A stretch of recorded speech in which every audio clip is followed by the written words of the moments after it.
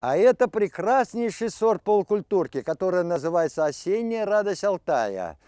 Вот. И в чем особенность этого сюжета у нас будет? В том, что я саженец начал а, подрезку центрального проводника с э, осени посадки.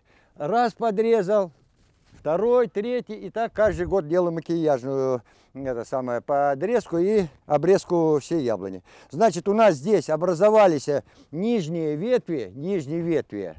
Вот, они у меня росли свободно.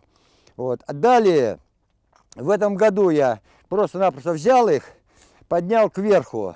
Будут они у меня так расти все лето, потому что ветви уже по земле, подкладывать ничего не хочу.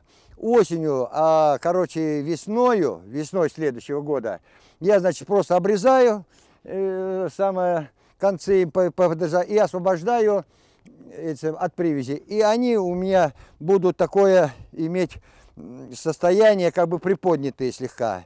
Вот. Но сама по себе это мне нужно для того, чтобы обеспечить светом вот эту вот э, мою яблоньку рядом сидящую.